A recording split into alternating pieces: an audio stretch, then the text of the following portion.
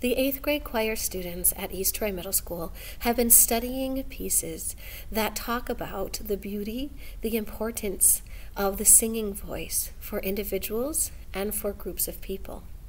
The song that you are about to hear, She Sings by Amy F. Bernon, follows the story of a young girl who daily enjoys the voice that she has.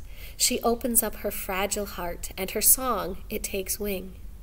And then nightly, she thinks about those who have no way of expressing their emotions. She cries for those who have never loved. She cries for those who can't express with words and don't know how to express with their voice and song and music what they feel. She cries for those who never sing.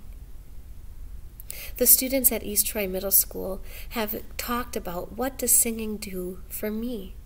What does it mean to me? How does it help me? What does it do for me?